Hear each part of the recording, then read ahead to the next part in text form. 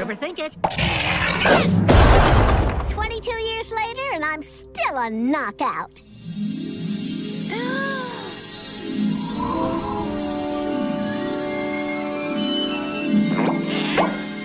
Whoa!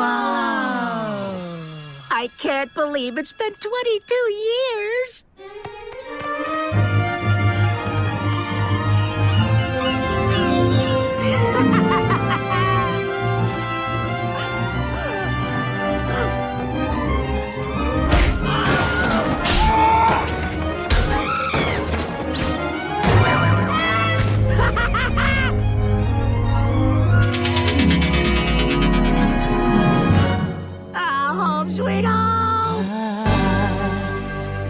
want a lot for Christmas.